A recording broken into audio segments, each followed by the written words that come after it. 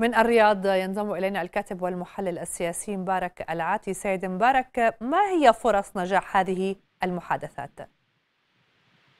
مساء الخير يعني مساء. واضح أن السعودية من خلال هذه المحادثات تريد تحقيق تقدم ملموس مبدية أمل بأن تكون الطهران على مستوى المسؤولية وأن يكون هناك خطوات عملية أو على الأقل رسائل إثبات حسن نوايا من من إيران وتثبت بالفعل أن المحادثات ستثمر عن نتائج ملموسة. هي تحقق الاستقرار للمنطقة ما هي هذه الخطوات؟ من الملفات في اعتقادي أولى هذه الخطوات التي ينبغي على إيران أن تقدمها إعلان توقفها عن عدم عن التدخل في الشؤون الداخلية العربية تنصلها من دعم الميليشيات الإرهابية أو على الأقل إعلان توقفها عن دعم الميليشيات الإرهابية. وفي رايي أهم ملف من هذه الملفات هو توقف عن دعم التمرد الحوثي ودعم آفاق السلام دعم تحقيق السلام في في اليمن. أعتقد أنها الخطوة الأولى المطلوبة من النظام الإيراني ليثبت بالفعل جديته في تحقيق السلام في المنطقة، في رأيي وفي اعتقادي أن اليمن ملف مؤثر في أمن المنطقة وفي أمن الجزيرة العربية. فلذلك على إيران بالفعل أن تبدأ أولى خطواتها برفع يدها عن الشأن اليمني. برأيك إلى أي مدى اليوم سيد مبارك في حال تم آه، فعلا فتح هذا آه، الخط وأتت المحادثات بنتائج إيجابية على صعيد العلاقات بين البلدين يمكن أن تنعكس على ملفات ساخنة في المنطقة.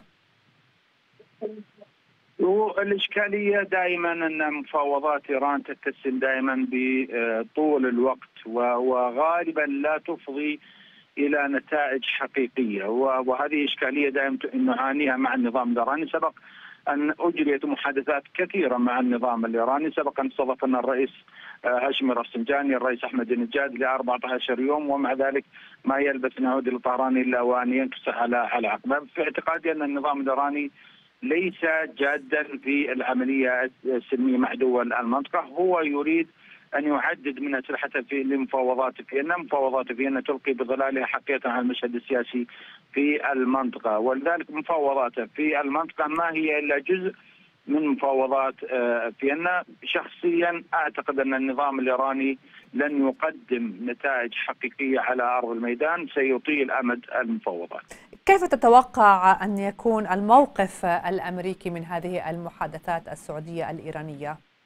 إدارة بايدن؟ بكل تاكيد بكل تأكيد أن إدارة بايدن ستعرب عن دعمها لهذه المحادثات وستؤكد على على تحقيق أمن واستقرار المنطقة، النظام إدارة بايدن يهمها بالفعل نجاح مفاوضات فيينا في الرجوع إلى اتفاق خمسة زائد واحد وعودة النظام الإيراني للالتزام بذلك الاتفاق التوقف وهذه الملفات الثلاثة يتفق عليها العالم أجمع وهو عن البرنامج النووي العسكري وتوقف عن البرنامج الصاروخي.